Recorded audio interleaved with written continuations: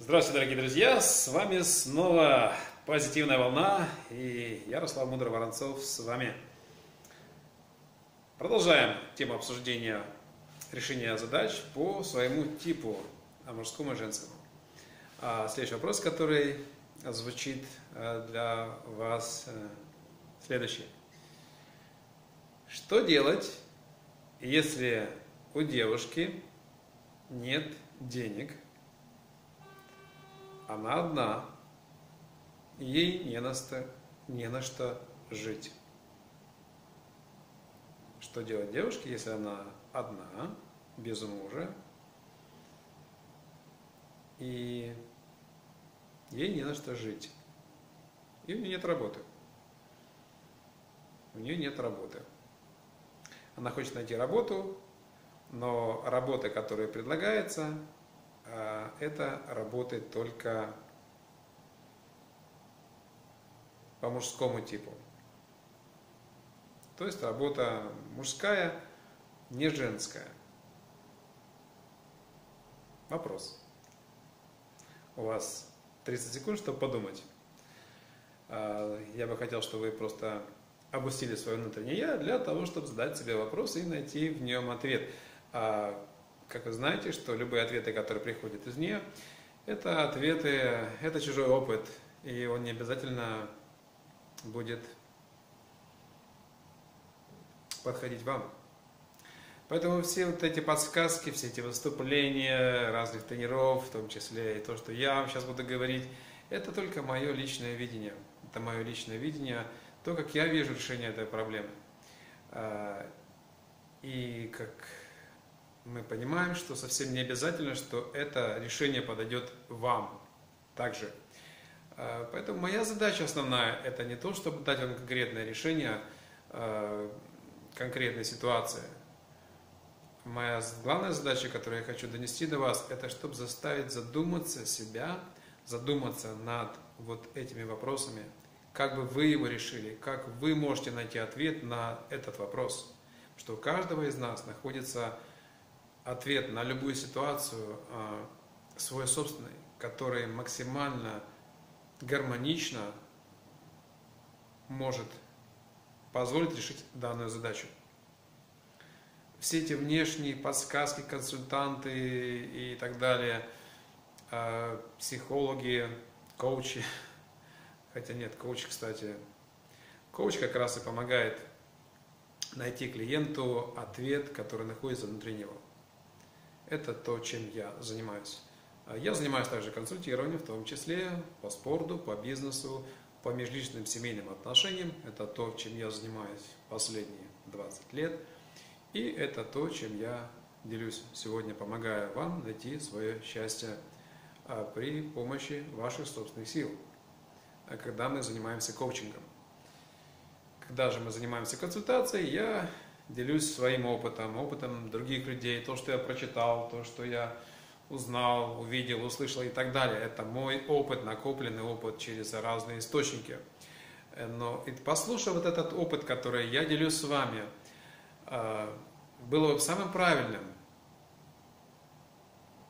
что-то взять может для себя, если это вам ложится на сердце если это ложится вам на сердце, если это вы чувствуете, что вам от этого лучше становится, что это именно то, что вам нужно. Но опять же, самое важное, самое важное, нужно примерить этот опыт чужой на себя, на свои чувства, на то, как это вам чувствуется внутри. Но для того, чтобы полагаться полностью на чувства, нужно, конечно же, эти чувства развить. Они должны быть чистыми, они должны быть не запачканы непоседливым и очень наслаждающимся, желающим умом, да, который очень сильно хочет наслаждаться, мы понимаем, это его естественная функция. А, поэтому я вам всех призываю, чтобы вы внутрь себя заглянули и нашли ответ на данный вопрос, который наиболее подходит именно для вас. Потому что ответ всегда есть, а есть ответ всегда внутри. Нужно только его найти. только его услышать. И этот неспокойный ум нужно обуздать и пользоваться принятием решением разумом, а не умом. Okay? Итак, следующий вопрос. Следующий вопрос. А вопрос следующий. Эй, hey, повторюсь с вопросом. Что делать девушке, если она без денег, полностью без денег, и у нее нет работы, она без мужа, и ей нужно решить вот эти вопросы, что ей делать. Работы, которые предлагают вокруг, а, работы мужского типа, они не женские работы. И э, она говорит, у меня душа не лежит. Душа не лежит для того, чтобы заниматься вот этой мужской работой. В чем я согласен, это абсолютно правильное решение, ощущение, потому что девушка должна заниматься работой, та, которая женская, в крайнем случае, если ей нужно себя обеспечить той деятельностью. А, а идеально, конечно же, мы знаем, чтобы это была не работа, а это было для удовольствия, чтобы девушка а, занималась тем, что ей по душе, то, что дает ей позитивную эмоциональную зарядку, и за это бы еще денежку платили. И при этом она исполняет свое назначение согласно телу, кармы и вселенской любви. Это было идеально, окей? Но поскольку до, идеального нам еще очень далеко, к нему нужно идти и идти, и это поэтому каждый из нас находится на своем пути а, достижения этой цели. Так вот, какой ответ приходит у вас, друзья? Какой же ответ вам приходит? А, что делать, если такая ситуация возникла? Вы подумайте сами, можете сделать паузу. А я сейчас отвечу то, что я думаю, а с моей точки зрения, что а, было бы хорошо сделать в такой ситуации. А, как и было в предыдущем подкасте, или это видеокаст, наверное, да, это же видеокаст, не подкаст, это же не аудио, видео, видеокаст, here we go, here we go, видеокаст, так и назовем его, видеокаст позитивной волны. Итак, Значит, а, поскольку а, для решения денежка, финансы, обеспечение, защита – это есть мужская энергия. Поэтому в данном случае женщине нужно найти мужскую энергию, воспользоваться ей. И по принципу того же, что мы говорили а, с, со шкафом, что делать женщине, когда очень тяжелый шкаф, и она одна, и надо его передвинуть. Кстати, один из вариантов, а, я тогда не сказал вам, самый оптимальный, когда нет родственников, нет соседа, нет друзей, в общем, ну, женщина вообще одна, а, то в этом случае можно, для тех, кто смотрит это видео первый раз, не смотрел предыдущее видео, сделайте паузу, тоже задайте себе вопрос, что делать, если есть тяжелый шкаф, и я не знаю, как его передвинуть, нет никого. Окей, сделали паузу. Замечательно. Ответ следующий, с моей точки зрения, опять же. А, значит, в этом случае самое оптимально, наверное, конечно же, тогда уже вызвать мастера. вызвать, есть такая служба, по-моему, называется handyman. А, э, или там мужчина, как там еще а, в русском пространстве, русскоговорящем пространстве, мужчина, муж на, на два часа, типа такого что-то, да, там что-то надо сделать по дому, вызываешь мастера, и он тебе передвигает все, что тебе надо делать. То есть в любом случае воспользоваться мужской энергией, не самой, не превращаться ему в мужика. Итак, возвращаясь к нашему вопросу сейчас, который звучит, что делать девушке, когда она нуждается в финансах и таковых нет. Значит, э, энергия мужская, значит, ей нужно привлечь мужскую энергию. А, самое основное правило, женщина должна, пока она с родителями, девушка, когда она живет с родителями, она должна быть защищена папой. А, когда же она, ну и вообще считаю, что пока девушка одна, она должна быть, одна имеется в виду, пока она не замужем, она должна быть защищена э, отцом, должна быть защищена семьей братом, другие, другой мужской половиной. То есть девушка никогда не должна находиться незащищенная, потому что это создает очень большую проблему для нее, для ее эмоционально-психического состояния и вообще жизненной ситуации. То есть э, самое первое, чтобы не было таких ситуаций, что женщина осталась одна и без денег, средств для существования, и ей нужно идти заниматься мужской работой, это, это нарушение, в общем-то, гармонии в отношениях. Поэтому для того, чтобы себя не ставить такие ситуации, изначально женщина должна быть защищена э, мужской половиной. Okay? Отец, брат, э, двоюродные братья и так далее. Это номер один. Если же такой ситуации нет, допустим, девушка одна, тяжелая карма очень оказалась, она одна, нету родственников, нету мужской силы, энергии, что делать в этом случае женщине?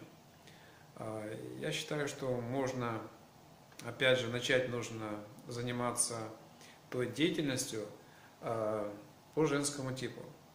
То есть ты не хочешь делать мужскую работу, и это правильно, абсолютно правильно. Значит, делай то, что ты можешь, как женщина, и что может дать тебе доход. Да? К примеру, скажем, самое простое, э, что можно делать, заниматься чем-то тем, что ты уже имеешь сегодня, то, что ты делаешь для себя, это можно кому-то еще предложить.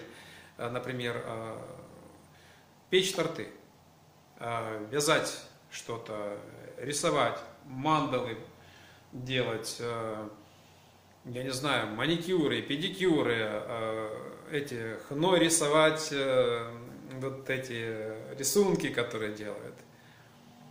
А, да что угодно, вот что угодно, то, что есть женское, вы уже что-то имеете, вы уже взрослая девочка, вы уже научились чему-то. И вот, вот то, что вы используете, то, что хлеб печь в конце концов можно, да, там какие-то булочки, да, друзья, ну что угодно. Я приведу реальный пример – скажем, много лет назад а, знакомая девочка, очень хорошая, у нее ситуация была тяжелая, она а, осталась одна с ребенком, маленький ребенок, годовалый ребенок, и, в общем-то, у нее не было средств для жизни. И она студентка была одновременно, училась в академии легкой промышленности, и ребеночек у нее маленький, и со... а, у нее еще собачка, боже мой, у нее еще собака такая была, а, большая дог, который тоже болел, которого была там какая-то болезнь, она водила его по врачам, кучу денег тратила, и, жила, и у нее была только одна стипендия. Обалденно. Что она тогда сделала, мое сердце она покорила очень сильно, до сих пор, много лет прошло уже, а, где-то 15 лет прошло, 20 лет даже прошло, да? Да, 20 лет, больше 20 лет прошло. И я помню, а, вот то состояние и мое вот глубокое уважение к этой девушке, которая, что она делала, она в то время пекла пек, торты, она просто пекла торты и вот ходила на рынок, продавала их. Продавала под заказ, на свадьбы, э, продавала там кусочками. Э, в общем, таким образом она себя обеспечивала. Себя, ребеночка своего и еще платила за квартиру и собачку э, лечила. В общем, ну, вот нет безвыходных ситуаций, нет безвыходных ситуаций, просто нужно их найти. Но самая главная идея какая? Что, опять же, это для вас тест. Девочки, это для вас тест. То есть ты попала в ситуацию, которой тебе говорит, что у тебя нет денег. Нет ряда мужчины, который должен позаботиться, его обязанность это сделать, позаботиться, защитить. Значит, и ты себя сама поставила в эту ситуацию, да? Это ты ее поставила в ситуацию, никто тебя не поставил. Твой был выбор, во всем был твой выбор. Значит, вот делайте то, что у вас получается. Вот я считаю это самое правильное. А, то есть вы используете свою женскую энергию, то, что у вас есть, уже ваш опыт, и через свою женскую энергию вы сможете себя обеспечить. А, и параллельно нужно развивать себе дополнительные женские энергии, которые позволят вам притянуть мужчину, мужскую энергию, которая даст вам эту защиту. А для того, чтобы обмен состоялся, что нужно сделать? Вы даете женскую энергию, которую вы развиваете, и мужчина. Находится мужчина, который готов поделиться с вами своей мужской энергией, в обмен на вашу женскую энергию. В результате, а вы также наполнили своей женской энергией достаточно, самодостаточно, стало у вас ее в избытке, и вы готовы поделиться ей с другим достойным мужчиной. Вуаля, создалась пара. Эйго. Вот таким образом а, должны развиваться эти отношения. И вот, а, опять же, это для вас тест, как был предыдущий вопрос. Когда у вас такая ситуация, посмотрите, какие у вас мысли возникают, что вы хотите делать куда вас тянет, какой деятельностью вы хотите заниматься, как вы этот вопрос решаете. И это есть показатель того, насколько вы сегодня достаточно наполнены э, своей женской энергией. Окей? Okay? Вот, э, пожалуй, так. Это очень хороший показатель, лакмусовая бумажка. Вообще все стрессовые ситуации, они для чего надаются? Для того, чтобы мы нашли новые силы, новые возможности для решать эти задачи. Любые стрессы, любые кризисы – это показатель того, что дела идут не так, как они должны идти, неправильно идут. Да? Любые кризисы в экономике, кризисы в здоровье, в отношениях, в бизнесе, да, в чем угодно. Любой кризис – это прежде всего показатель того, что ты что-то делаешь не так, что нужно делать все по-другому. И если ты в этот процесс, даже даже болезнь, когда мы болеем, что значит, для чего нам болезнь нужна? Для того, чтобы осознать, что у тебя что-то не так на ментальном, на физическом, эмоциональном уровне. И пока ты болеешь, тебе судьба создает условия, чтобы ты задумался, задумался, что же я делаю не так, почему я страдаю. Потому что через страдания приходят, если мы правильно к этому относимся, через страдания приходят новые озарения и желание что-то делать. Okay? И вот очень хорошо в таких ситуациях, когда у вас критически возникает, подумать, как это делать. Итак, первое. Критическая ситуация позволяет нам понять, что мы что-то делаем не так. Окей, okay, номер один. Второе. А, ваша возможность а, и желание решать эту задачу каким способом говорит о том, достаточно ли у вас развита вашей энергии женской. Мы сейчас говорим про женщин, мужчин немножко по-другому. Окей? Okay? Если вам хочется решать эти задачи по-мужски, значит что-то у вас не так сделано. И как следствие вы попали в, этом, в эту ситуацию, когда вы остались без мужской энергии. Говорит о том, что у вас э, мужской энергии, наверное, немножко изобилие. Надо бы наоборот, женской энергии, чтобы было в изобилии предостаточно. Окей? Вот такая штука.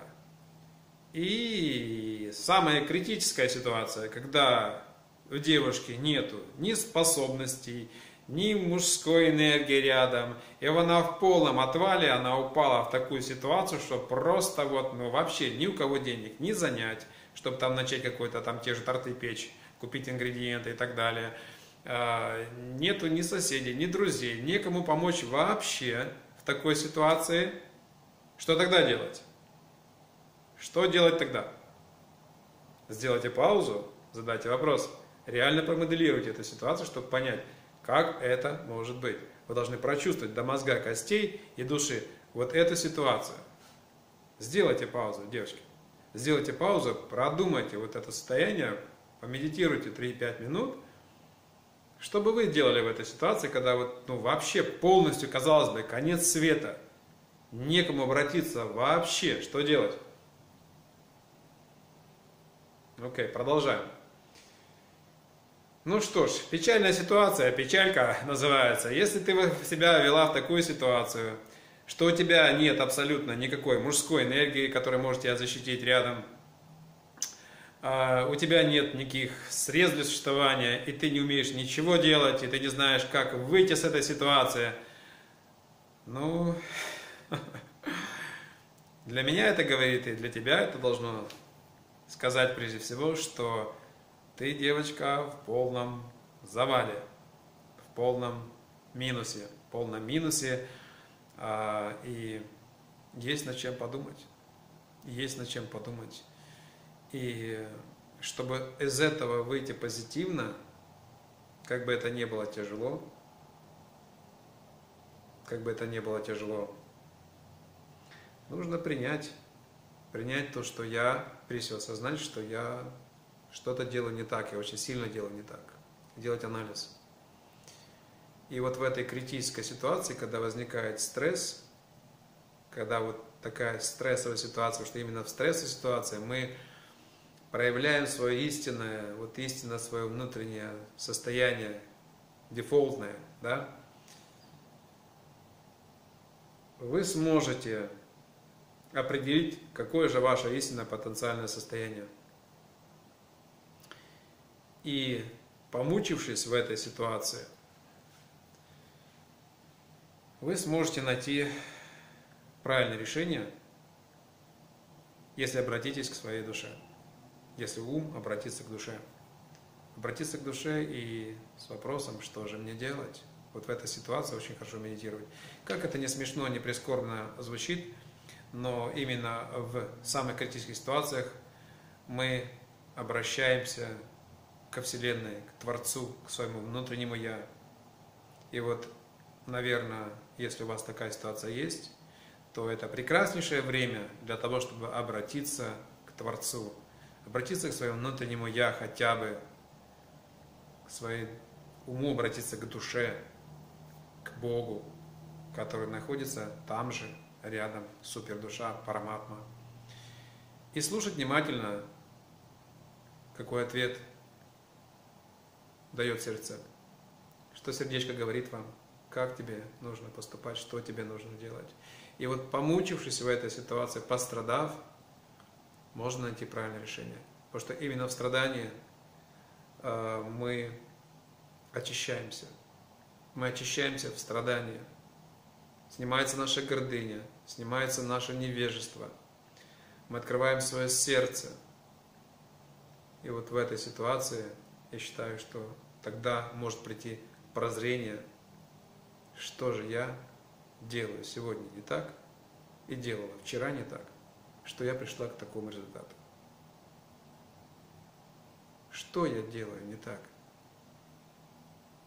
И что мне нужно делать так, чтобы я пришла к тому результату, который я хочу иметь.